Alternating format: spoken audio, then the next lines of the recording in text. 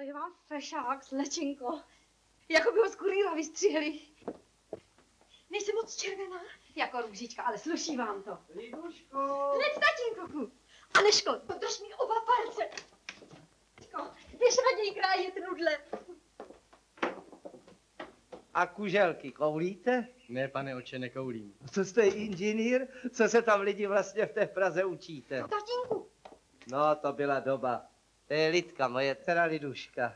Inženýr Loukota.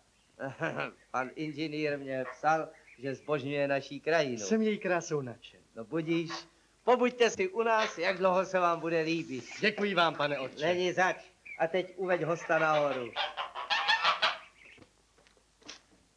Co vy tady stojíte jako strašák zelí? Pane starosto, hlásím, že se v kačáku koupal nějaký civil. No, tak jsem mu měl napazit pokutu.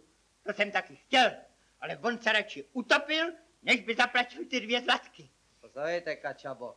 Co jste to zase pil? Děkuji úctě, pane inženýr.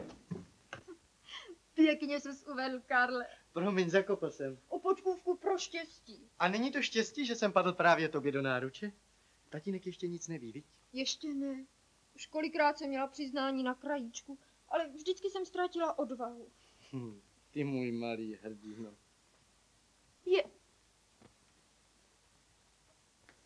Aneško, doufám, že jsi nic neviděla. A jak bych viděla, vždyť jsem zavřela oči. Ale prosím tě, tatínkovi, nic. Ani muk. Přece mám pro tajnou lásku pochopení. Aneško, ty jsi zlato.